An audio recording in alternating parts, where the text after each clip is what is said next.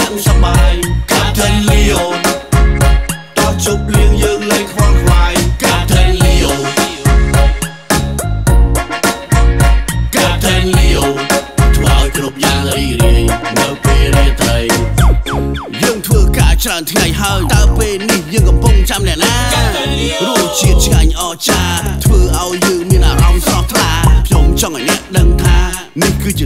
ពេលនេះយើងត្រៀមខ្លួនដើម្បីសប្បាយពេលខ្ញុំទៅដល់គ្រប់យ៉ាងគឺសប្បាយដល់ពេល party យើងកុំខ្វល់ខ្វាយប្រទេសថៃប្រទេសឡាវគេបានស្គាល់លីអូព្រោះខ្ញុំអស្ចារ្យពេលនេះខ្ញុំបានមកដល់ប្រទេសកម្ពុជាតើយើងចូលមករំលែកទាំងអស់គ្នា Party ទាំងអស់គ្នា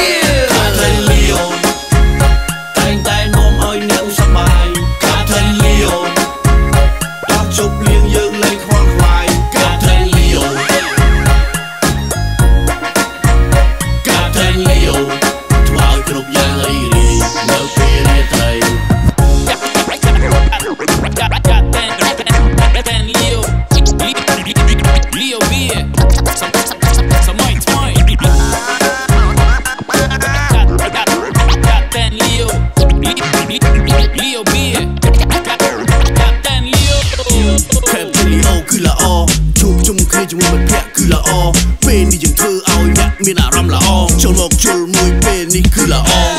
ខេបលីអូគឺល្អជួបជុំគ្នាជាមួយមិត្តភក្តិគឺល្អពេលនេះយើងធ្វើឲ្យអ្នកមានអារម្មណ៍ល្អចូលមកជុលមួយពេលនេះគឺល្អខ្ញុំច ង់ប្រាប់អ្នកនេះគឺជា style យើងត្រៀមខ្លួនដើម្បីសប្បាយពួកយើងសប្បាយអត់លះហែ